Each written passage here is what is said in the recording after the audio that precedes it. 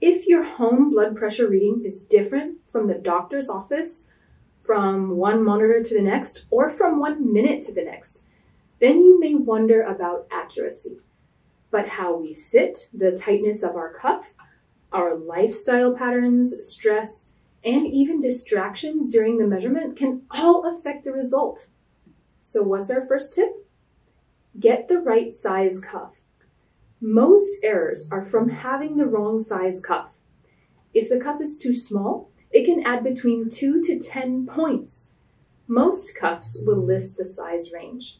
Measure around your arm with the tape measure to make sure you have the right cuff size. The second tip is to wear your cuff properly. I know it sounds obvious, but when watching patients take their measurements, we find a lot of common mistakes. One common issue is that the cuff is placed on top of your clothing. This can cause your reading to appear 10 to 50 points higher. So roll up your sleeve or take off your jacket. Another mistake we see a lot is that the cuff is too close to the elbow, too tight, or too loose. So your cuff should fit around a half inch above your elbow and snugly so that two fingers can be wiggled underneath it, but not too much.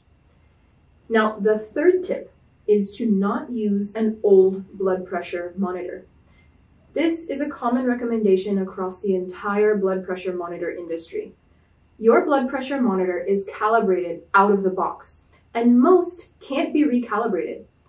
Every time you bump it around or take a reading, that calibration accuracy declines. The industry standard is to replace it if it's over two years old. Besides the cuff and the BP monitor, what other factors would cause high blood pressure results? Well, here are a few other factors. Stress before or during a measurement can raise your cortisol levels and cause a rise in blood pressure. Also, salty foods might cause high readings for a few days after you've eaten them. A full bladder can add up to 10 to 15 points, so use the restroom before measuring. Also, talking during the measurement might also raise blood pressure by 10 to 15 points. Being cold raises body activity and also blood pressure. And blood pressure may also be temporarily higher after you've exercised. The last and final thing is alcohol. Alcohol, caffeine, and tobacco actually. They'll all cause a higher than normal blood pressure reading. So consider these before and while measuring. Otherwise, your blood pressure might be higher than normal. Well, we talked about the highs, but there's also things that can cause blood pressure to be artificially low. If you've eaten a large meal in the last hour or so, that typically drives the readings lower. Also, dehydration can cause lower blood pressure until you correct it. So if you've just come from the sauna, hot tub, or jacuzzi, or if you've been sweating a lot, your blood pressure might be low, so hydrate yourself. When and how should you check your blood pressure for a perfect reading?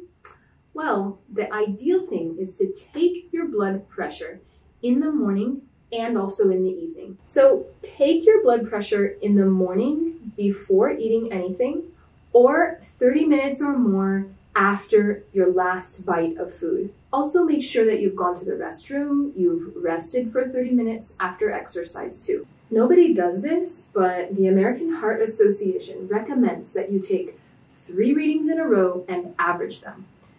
More specifically, measure after resting in a chair for around five minutes with your feet flat on the floor and legs and arms uncrossed.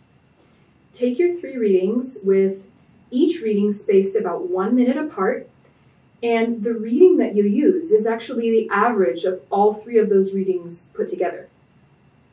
If your reading still seems unusual, drink some water, eat some fresh fruits and vegetables, and recheck in about an hour. And lastly, if you're still wondering about the accuracy of your BP readings, try to do a side-by-side -side comparison with a stethoscope and a sphygmomanometer at the doctor's office. Replace your monitor if it's over two years old, but definitely do not compare one home blood pressure monitor to another. And don't use a wrist monitor if possible. I hope these videos help you to learn a little bit more about getting an accurate blood pressure reading. And as always, feel free to reach out to your care team if you've got any questions. I hope you like this video. Go ahead and scroll through our website or our Unified Care app for more information about chronic conditions, vitals monitoring, and general nutrition and wellness. See you again soon!